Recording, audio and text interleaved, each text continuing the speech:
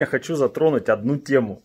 Заходят клиенты, они редкие у нас уже такие, потому что в основном все постоянные, но заходят молча такие, с закрытой головой, подходят по витринам, ходят так потихонечку, все смотрят.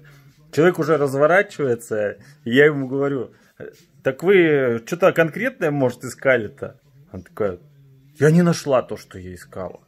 Я говорю, а что вы искали? Пусеты я искала. Я говорю, так вот, смотрите, вот вам 10-20 э, вариантов пусет. Посмотрела, помолчала такая, тут не мой формат. Я говорю, а какой ваш формат? Ну, тут нет моего. Я говорю, так мы изготавливаем все, что угодно. Расскажите, что вы хотите. Нет, ну как это я так расскажу? Не могу. Спасибо, до свидания. Ну что это такое, люди? Ну вы что, язык есть, уши есть, мы можем все сделать.